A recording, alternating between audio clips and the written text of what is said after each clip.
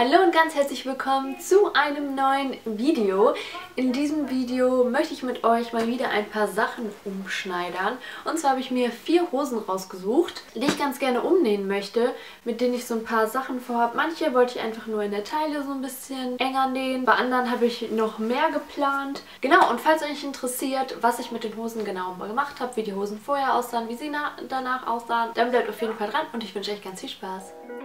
Also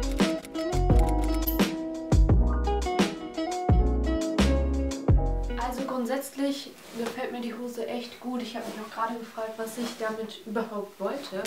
Aber ähm, hier oben am Bund ist sie halt wirklich etwas zu locker. Also ähm, ja, ich glaube, das ist das, was mich gestört hat. Deswegen habe ich sie auch nicht mehr getragen. Das würde ich auch ganz gerne irgendwie versuchen enger zu machen. Also hier ist schon was kaputt, das kann ich dann gleich mitnähen, weil das kann man hier einfach wieder dran nähen.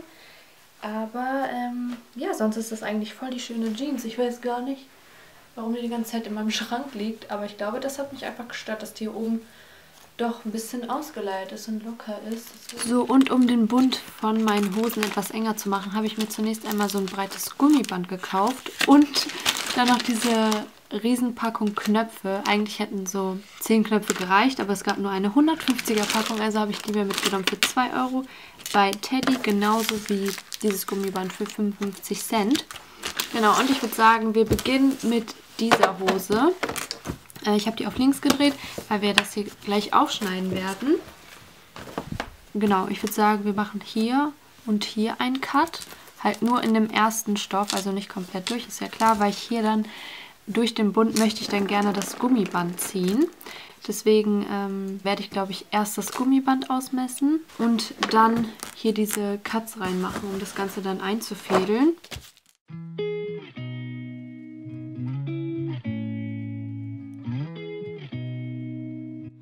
Okay, damit das Ende nicht ganz ausfranst, habe ich mir jetzt überlegt, dass ich das einmal so umfalte und dann festnähe. Man könnte rein theoretisch hier auch eine Naht entlang machen am Ende, sodass das Ganze nicht aufgeht. Aber ich denke, ich werde das einfach einmal umknicken und dann festnähen.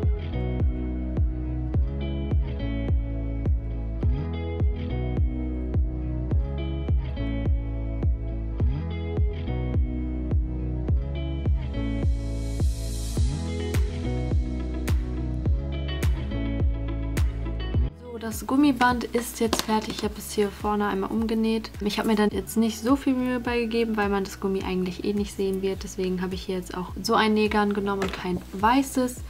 Aber jetzt kann man es ganz gut erkennen. Und zwar ist hier das Gummiband und das soll halt hier durchgezogen werden. Und dann werde ich nämlich auch, deswegen habe ich hier die Knöpfe. Da werde ich hier jeweils einen Knopf anbringen. Hier mache ich noch kleine Schnitte rein, sodass man das so ein bisschen variieren kann. Wie bei den Kinderhosen im Prinzip. Vielleicht kennt ihr noch jemand von früher, da kann man das ja auch so einstellen.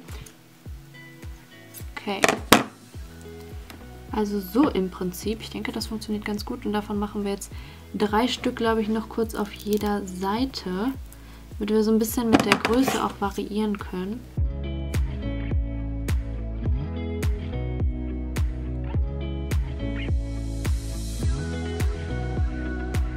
Das gleiche wiederholen wir kurz hier.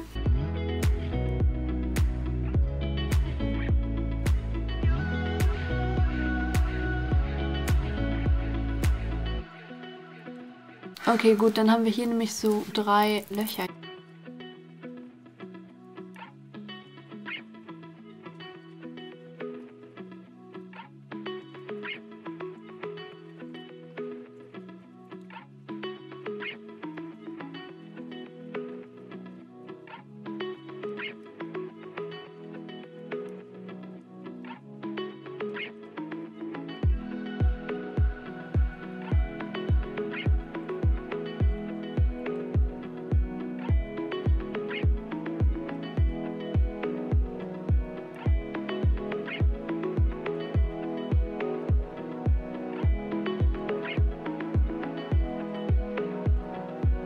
Okay, die Knöpfe sind angebracht. Ich werde jetzt hier neben äh, jeweils einen Cut machen. Wichtig ist halt, dass man nicht komplett durchschneidet, weil sonst sieht man halt den Cut auch außen.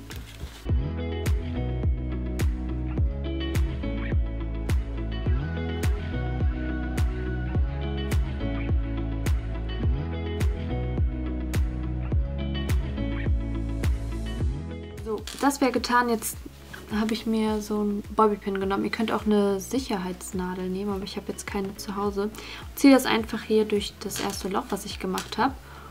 Und mit Hilfe der Spange können wir das Ganze dann nämlich ähm, durch den Bund der Hose ziehen. Ja, genau, das sollte funktionieren.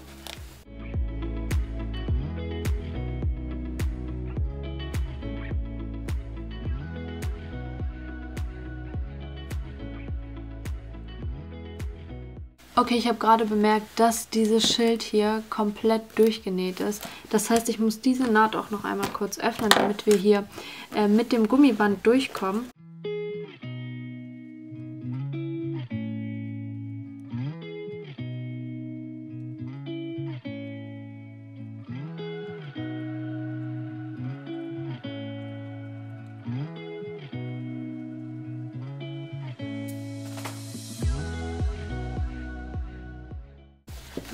So, das Schild ist ab und dann können wir das Ganze weiter durchziehen.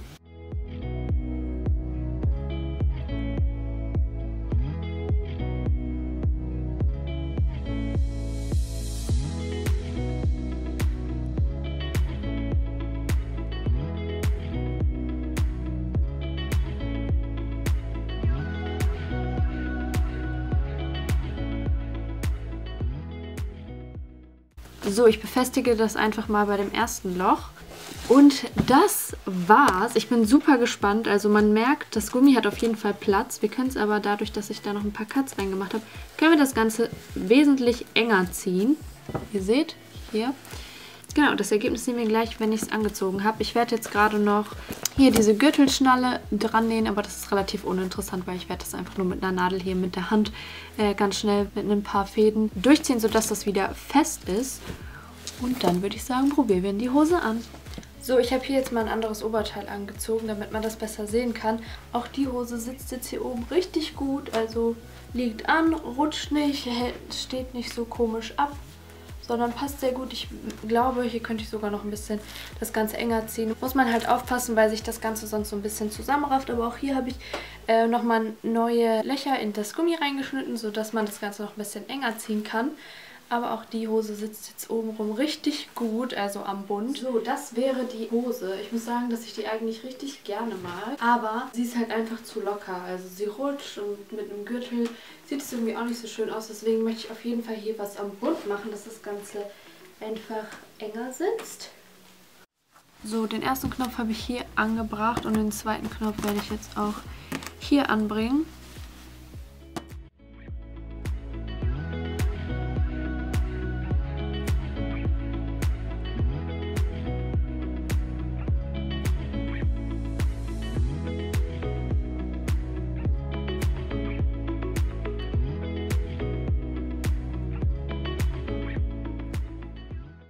Beiden Knöpfe sind angebracht. Das heißt, wir werden jetzt ähm, hier wieder zwei Cuts machen, um das Gummi durchzuziehen. Das hatte ich schon vorbereitet und diesmal hatte ich das auch mit einer Nähmaschine hier einmal umgenäht. Das ging wesentlich schneller als mit der Hand und ähm, dabei gab es auch keine Probleme, also hat sich nicht verhangen oder so. Und hier habe ich auch wieder drei Löcher reingemacht.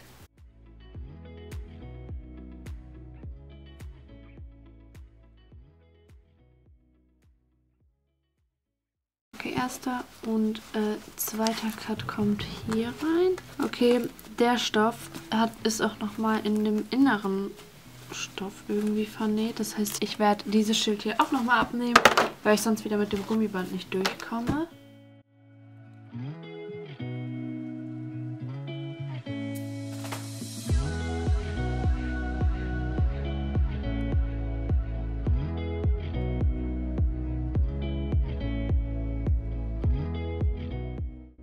Jetzt können wir das Ganze wieder durchziehen.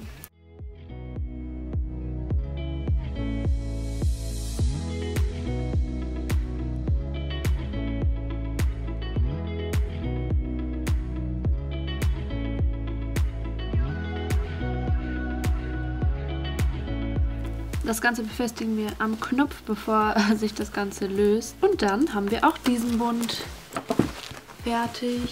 Ich bin so gespannt, wie das angezogen aussieht, Leute. Ich habe bei dem Band jetzt noch ein paar Cuts reingemacht. Ihr seht, hier ist es auch ein bisschen misslungen. Genau, um das Ganze ein bisschen enger zu machen, weil das war dann doch zu viel. Und die Hose sitzt jetzt oben richtig eng. Hier ist kaum, das heißt, hier ist kaum noch Platz, aber sie passt richtig gut. Ich brauche auch gar keinen Gürtel mehr. Also es sitzt jetzt oben rum richtig gut und fest und rutscht auch nicht mal, als würde mir die Hose so schon passen. Also ist richtig gut mit dem Gummi, wie gesagt, der hätte auch noch viel weniger gereicht. Also hätte ich das äh, einfach noch mal ein bisschen enger hier oben geschnürt und dann kürzeres Gummi geschnitten, hätte es auch ausgereicht, weil ich jetzt ein bisschen was hier über habe. Das werde ich aber noch abschneiden und dann auch wieder umnähen oder natürlich, wenn man zunimmt, dann kann man das dementsprechend auch wieder lockerer machen oder das ganz rausnehmen. Dann kann man die Hose auch so tragen. Ist halt super praktisch, weil man das jetzt immer so variieren kann. Diese Hose gehört zu meinen absoluten Lieblingshosen. Das Problem ist einfach nur, dass sie mir wirklich viel zu groß ist. Also die sitzt oben einfach viel zu locker, rutscht deshalb auch runter und ich fände es generell, ja gut, wenn man sie weiter unten trägt, ginge das, aber irgendwie gefällt mir das nicht so. Also irgendwie passt es nicht so richtig. Deswegen hätte ich sie gerne, weil hinten sitzt sie dann auch ein bisschen komisch. Ich hätte sie einfach gerne ein bisschen höher geschnitten und halt enger auf jeden Fall, also dass sie so an der Taille sitzt. Unten könnte man rein theoretisch auch noch was ähm, am Bein machen, vielleicht das auch ein bisschen enger machen, aber da bin ich mir nicht so sicher, weil ich finde die Hose so, so schön. Man kann die so schön kombinieren, egal ob sportlich, schick oder sonstiges. Da gibt es so viele verschiedene Kombinationsmöglichkeiten und deswegen ist es auf jeden Fall eine Hose, aus der ich noch was machen möchte. Das ist auch eigentlich eine XS, aber die ist mir oben einfach zu locker. Also ihr seht es. Entweder ich wende eine einfache Methode an, also ziehe hier einfach ein Gummi durch, wie ich das bei den anderen Hosen probiert habe. Oder ich werde das hier eventuell so umschlagen. Oder wie sagt man doch, so ein bisschen umschlagen. Dann ist es nochmal ein bisschen gerafft. Bringt ein bisschen mehr Textur mit ein und sieht, glaube ich, eigentlich auch ganz cool aus. Also ich bin noch am überlegen, wie ich das Ganze umsetzen möchte. Vielleicht probiere ich es auch erst mit dem Gummi und dann kann man es immer noch so machen, wie ich es mir sonst anderweitig vorgestellt habe. So, ich habe das Ganze jetzt etwas umgestellt und ich hatte die Hose bereits an, wie ihr sehen könnt. Ich habe hier was mit äh, Bobbypins befestigt, denn so in etwa soll das dann am Ende aussehen. Ich habe mich doch dazu entschieden, das Ganze ähm, zu nähen und zwar nähe ich das auch per Hand, denn ähm, wenn man das einmal so umschlägt, ist es doch sehr dick und ich möchte jetzt nicht mit der Nähmaschine da ein paar Nadeln kaputt machen, deswegen werde ich das per Hand machen. Und ich ziehe auch kein Gummiband durch, einfach weil, wie, wie, ihr sehen könnt, das ist die hintere Seite, da ist schon ein Gummiband durchgezogen bis zur Hälfte. Und hier befindet sich eine Naht. Das, das hieß, ich müsste diese Naht aufmachen, das Gummi rausnehmen und dann ein komplett neues Gummi reinziehen. Deswegen habe ich gedacht, ich schlage das so um, weil ich glaube, das wird auch besser aussehen. Dann haben wir hier nämlich so eine ähm, Art Falte. Ich habe versucht, das gleich zu machen auf beiden Seiten, also dass der Abstand hier jeweils gleich ist. Ich glaube, man kann es ganz gut erkennen. Ich habe das Ganze, ähm, hier war eine Schlaufe für einen Gürtel und die habe ich dann noch verdeckt. Und ich habe ja das einfach einmal so, ich versuche es euch gerade hier vorzumachen, ich habe das Ganze einfach so einmal übergeschlagen. Das heißt, ich werde das jetzt als allererstes hier nähen, sodass das schon mal zusammen ist und dann haben wir nur noch das, so eine Art Schlaufe und die werde ich dann auch nochmal hier dran festnähen. Dabei halt muss ich auch wieder aufpassen, dass ich nicht durch den Stoff hier gehe, weil sonst wäre das außen sichtbar und ich glaube, das sieht nicht so schön aus. Deshalb, genau, würde ich sagen, wir fangen erstmal damit an. Ich werde das einmal kurz umschlagen. Genau, und das Ganze hier entlang nähen. Und dafür müssen wir diese Spange auch wieder rausnehmen. Ich hoffe, ihr könnt das ganz gut sehen. Und ich hoffe einfach, das wird was. Es wäre zu schade, wenn das nichts wird, weil ich gerade echt hohe Hoffnung in die Hose setze. Aber naja, ich werde jetzt hier äh, durchnähen, sodass wir diese eine Schlaufe haben. Ich werde jetzt die Spange einfach mal äh, hier stecken lassen und nebenher nähen, damit das Ganze auch nicht verrutscht.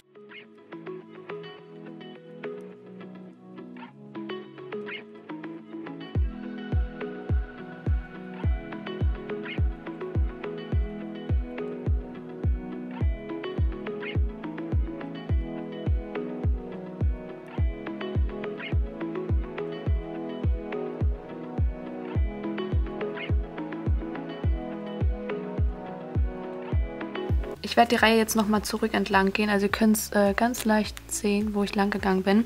Einfach damit das Ganze fest sitzt.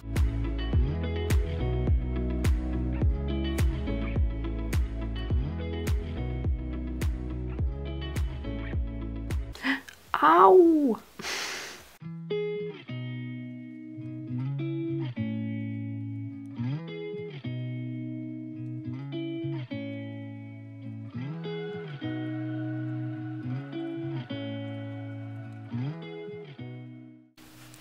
Hoffe, es wird gerade aufgenommen. Ich bin gerade fertig geworden und mir ist aufgefallen, ich habe das nicht gerade gemacht. Also seht ihr, ich hätte es ein bisschen höher ziehen können, dann wäre das auch verdeckt gewesen. Aber ich werde das jetzt einfach hier so ein bisschen nach oben ziehen und dann hier festnähen. Glaube ich, hier einfach ein paar Nähte machen durch den ähm, ersten Stoff, also nicht durchs Gummi gehen, weil das zu dick wäre. Also sprich, ich nehme die Schicht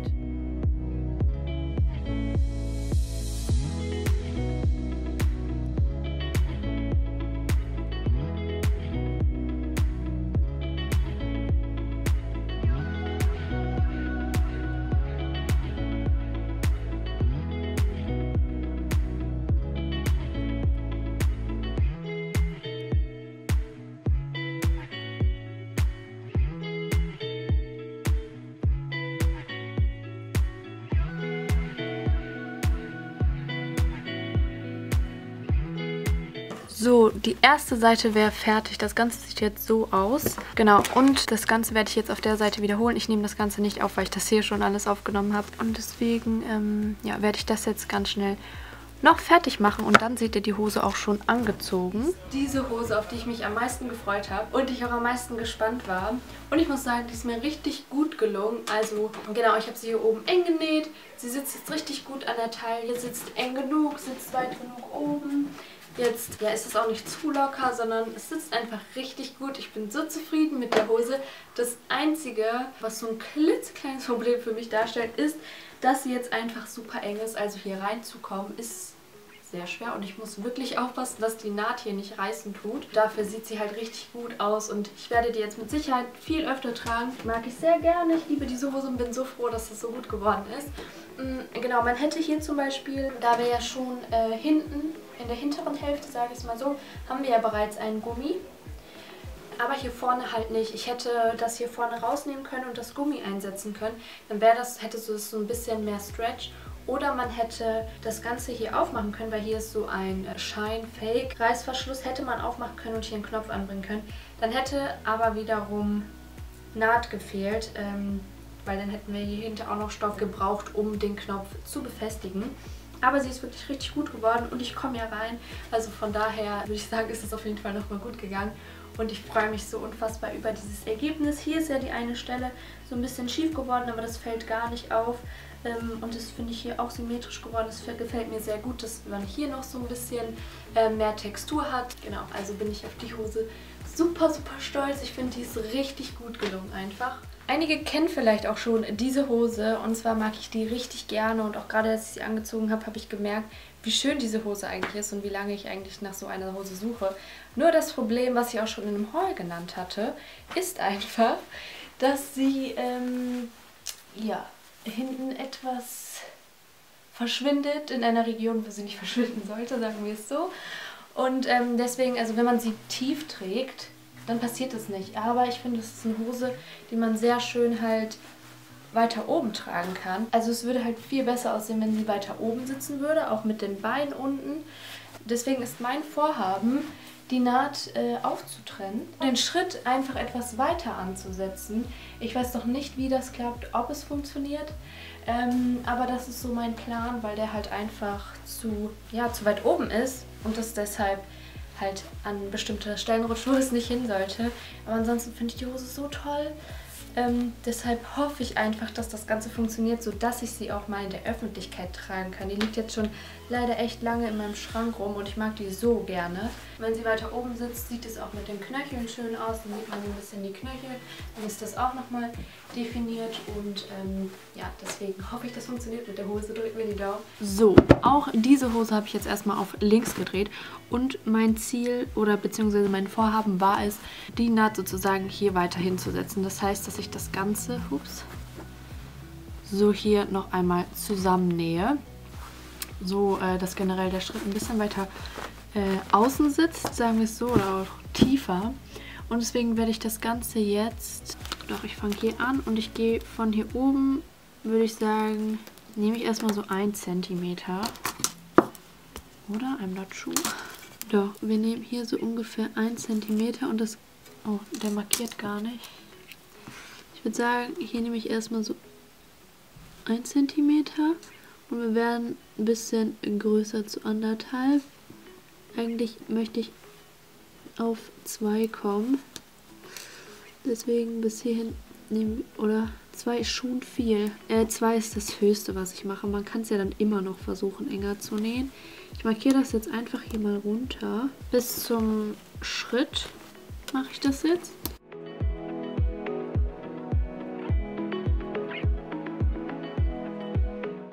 Ich habe das Ganze jetzt noch auf der anderen Seite markiert, weil mir eingefallen ist, dass das Ganze ja so auf die Nähmaschine gelegt werden muss. Genau, also ich habe wie gesagt hier oben mit einem Zentimeter angefangen und bin dann halt immer weitergegangen, bis ich zwei Zentimeter ungefähr hatte. Das Ganze werde ich jetzt festnähen.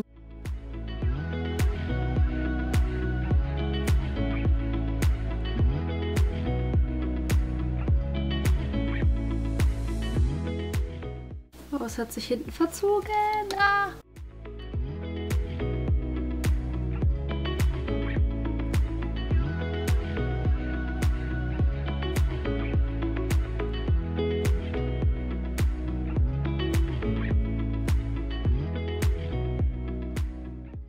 Man sehen kann, hier hat sich das so ein bisschen verzogen. Ich knote das gerade fest und dann probiere ich sie einfach an. Oh. Ist der Faden noch abgerissen? Also hinten geht es jetzt einigermaßen. Nur vorne sieht es halt ein bisschen komisch aus, weil hier jetzt zu wenig Stoff ist. Das heißt, wir müssen das hier einmal die Naht auch noch mal ein bisschen äh, mehr zusammennähen. Und äh, dann würde es nämlich von hinten auch noch mal ein bisschen Stoff äh, zur Seite ziehen. Das heißt, da müsste das alles eigentlich ganz gut sitzen. Deshalb äh, ja, werden wir hier jetzt Stoff wegnehmen und das Ganze etwas enger nähen. Aber wie gesagt, hier am Bund lassen wir es frei. Also die Naht werde ich dann hier entlang machen und dann hier wieder etwas näher ja, zur Hauptnaht sozusagen gehen. Das heißt, ich werde jetzt aber hier vorne nicht mehr so viel Stoff wegnehmen, weil so viel Stoff hat die Hose dann vorne auch nicht. Gerade weil wir hier auch an den äh, Seiten ja rechts und links noch so Raffungen haben. Deswegen werde ich, ich glaube ich werde hier so höchstens 1,5 cm wegnehmen. Oder so, oder ich lasse es bei 1. Ich fange mit 1,5 an, glaube ich. Und gehe dann runter auf 1 und belasse es dann auch dabei.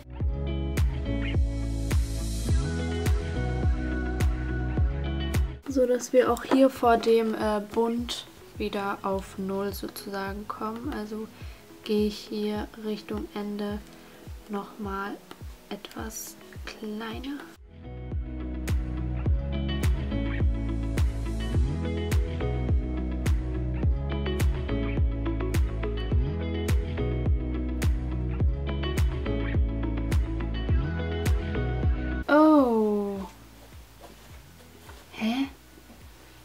Wäre schon am Ende. Nein! Was ist das denn? Okay, ich habe hier... Ich dachte, ich wäre am Ende. Ich frage mich gerade, wie das kam. Ich dachte, ich wäre schon hier bei der Naht. Aber mein, untere, mein unterer Faden ist sowieso leer. Von daher ähm, ja, wechsle ich das gerade aus und tue den Rest. Ich weiß nicht, ob es aufgenommen hat, aber meine Nadel ist gerade komplett zersprungen. Trotzdem sind wir aber gerade noch zum Glück ans Ende gekommen. Ich werde das, oder? Bin leicht verwirrt. Ich habe jetzt hier so viele Fäden. Ich werde das jetzt einmal verknoten. Und äh, dann ziehen wir die Hose zum Finale an und schauen, wie das Ganze geworden ist. Das Problem war jetzt auch einfach mit dem Nähgarn, weil ähm, das jetzt kein hochwertiges Nähgarn war. Die ist auch ständig hängen geblieben und konnte den Faden nicht richtig abziehen, also die Nähmaschine. Genau, werde ich die umdrehen und dann probieren wir sie zusammen an. Okay, kommen wir zu der Hose, wo ich am gespanntesten war und ich muss ganz ehrlich sagen, also es ist nicht so ein großer Unterschied zu erkennen. Hinten habe ich immer noch das gleiche Problem, wobei, wenn man das Ganze so ein bisschen hier an der Seite mit nach vorne zieht, geht es einigermaßen. Aber halt vorne hatte ich auch dieses Problem, es hat sich so ein bisschen gelegt. Also nachdem ich das erste Mal genäht habe, war es ja vorne, äh, sah es sehr komisch aus. Jetzt geht es einigermaßen. Aber ähm, ja, ich bin mir nicht so sicher bei der Hose. Also ich weiß es nicht. Hinten ist es mir, glaube ich, immer noch zu viel. Aber dennoch äh, bin ich mir nicht so sicher bei der Hose. Aber ich mag sie so gern und ich wünsche mir so sehr, dass das funktioniert. Deswegen, ähm, ja, schaue ich mal. Also hier hat so mittelmäßig funktioniert. Ich habe mir noch ein bisschen ein besseres äh, Ergebnis erhofft. Ist nun mal jetzt so geworden. Vielleicht hätte ich die auch komplett auftrennen sollen an der Naht und äh, das Ganze dann wieder zunähen. Ich glaube, das wäre auch einfacher gewesen, weil äh, die Naht hat sich so ein bisschen verschoben. Ich glaube auch, weil das Nähgarn jetzt auch nicht so top war, weil ich das in so einem Sammelset hatte. So, das war's mit dem Video. Ich muss sagen, ich bin richtig zufrieden mit dem Ergebnis. Die Hose hatte ich jetzt schon zweimal an, weil ich die so toll finde. Bei der muss ich noch ein bisschen schauen, ob ich mich damit zufrieden geben kann. Ähm, ich schaue auch nochmal, wie sie vorher und wie sie nachher aussah. Und auch die passen mir jetzt endlich richtig gut. Ich muss sagen, das Ganze hat wirklich gut geklappt. Wenn euch diese Art von Videos gefällt, hinterlasst mir gerne einen Daumen nach oben. Dann weiß ich, dass ich mehr solcher Videos hochladen kann. Denn das waren nicht die letzten Stücke, die ich vorhatte umzunähen oder neu zu nähen. Falls euch das interessiert, ich werde euch mein erstes Video zum Thema Umnähen gleich in der Endcard verlinken, sowie in der Infobox. Videowünsche wie immer in die Kommentare und ansonsten würde ich sagen, sehen wir uns beim nächsten Mal. Tschüss!